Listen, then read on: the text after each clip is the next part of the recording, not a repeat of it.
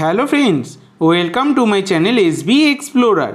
পাকিস্তানের T twenty world কাপের জার্সিতে ভারতের নাম লেখা আছে, যেটা নিয়ে তুমুল বিতর্কও শুরু হয়েছে।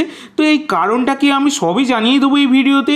তো ভিডিওটি একটু স্কিপ না করে শেষ অবধি দেখার অনুরোধ রইল। আর যারা এখনও পর্যন্ত চ্যানেলটা সাবস্ক্রাইব করোনি, কিসের ওয়েট করছ? এখনই সাবস্ক্রাইব করে দাও। যে কোনো ধরনের স্পোর্টস রিলেটেড আপডেট সবার আগে পাওয়ার জন্য।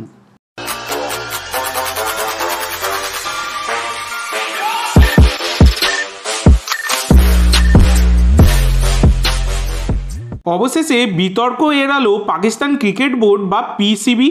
বাবর আজমদের টি টোয়েন্টি বিশ্বকাপের জার্সিতে ভারতের নাম অন্তর্ভুক্ত করল পাকিস্তান। এর আগে সোশ্যাল মিডিয়ায় পাকিস্তানের বিশ্বকাপের যে জার্সির ছবিটা ভাইরাল হয়েছিল, তাতে ছিল না আয়োজক দেশ ভারতের নাম। বাবর আজমদের সেই জার্সিতে আইসিসির লোগোর নিচে আয়োজক দেশের স্থানে ভারতের পরিবর্তে লিখেছিল ইউএই দু হাজার একুশ এরপরেই বিতর্ক শুরু হয়।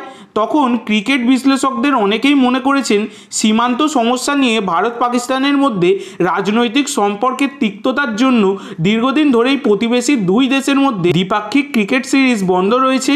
হয়তো সেই কারণে ভারতকে প্রাপ্য সম্মান দিতে নারাজ পাকিস্তান ক্রিকেট বোর্ড। অবশ্য সেই বিতর্ক এড়ালো পাকিস্তান টি টোয়েন্টি বিশ্বকাপের এবারের আয়োজক ভারত। ভারতে করোনা ভাইরাস তুলনামূলকভাবে বেশি সংক্রমিত হওয়ায় আইসিসির এই বড় টুর্নামেন্টটি সংযুক্ত আরব আমিরশাহিতে আয়োজনের সিদ্ধান্ত নেয় ভারতীয় ক্রিকেট কন্ট্রোল বোর্ড। বিশ্বকাপ মরুর দেশে হলেও আয়োজক সেই ভারতই থাকছে আর টি টোয়েন্টি বিশ্বকাপের আয়োজক হিসাবে অংশগ্রহণকারী প্রতিটি দেশের জার্সিতে রীতি অনুসারে আয়োজক দেশের নাম থাকারই কথা।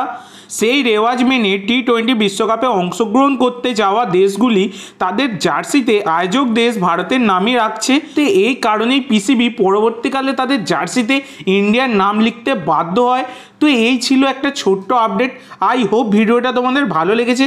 আচ্ছা এইটুকু বন্ধুরা, ভিডিওটি ভালো লাগলে অবশ্যই লাইক করো, শেয়ার করো। আমার চ্যানেলে প্রথমবার এসে থাকলে চ্যানেলটি সাবস্ক্রাইব করো আর কমেন্ট করে জানাও ভিডিওটি কেমন লাগল। ধন্যবাদ।